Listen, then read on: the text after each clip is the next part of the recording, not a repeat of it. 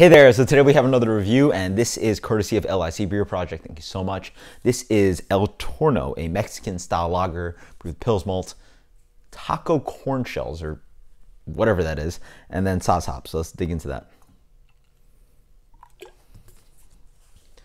Beer comes in a light gold color, uh, light haze on there. Let's get the aroma.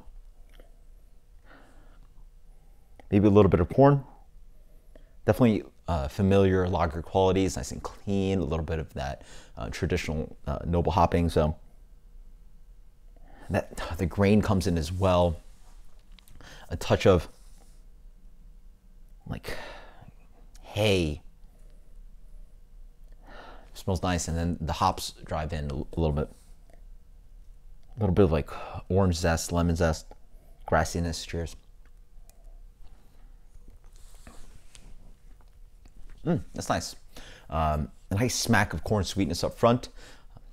Honestly, that reminds me of something like uh, Miller High Life or something like that. Not quite there, but it has that nice touch of corny flavor to it, nice and dry. But the hops actually drive in uh, noticeably,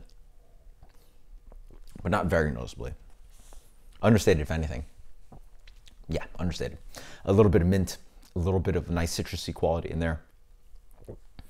This is one of the most macro tasting craft beers I've had in a while.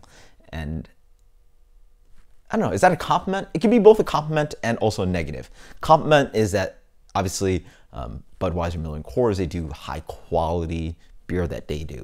At, at their batch size and consistency, they're very technical and they produce a singular product, just like the McDonald's you get from here a mile away to 100 miles away is pretty spot on, whereas brews probably have a hard time doing that. So it's highly technical product.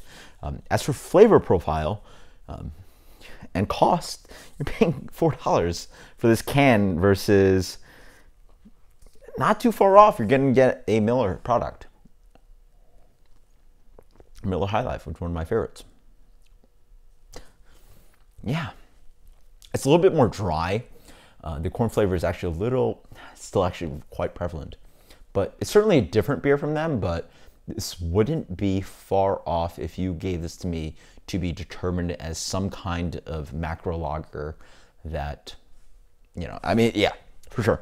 Give this to me blind, I could never tell it was a craft beer. I would definitely assume it was a macro lager, not even close. So, um, whether that's a compliment or a negative, I don't know.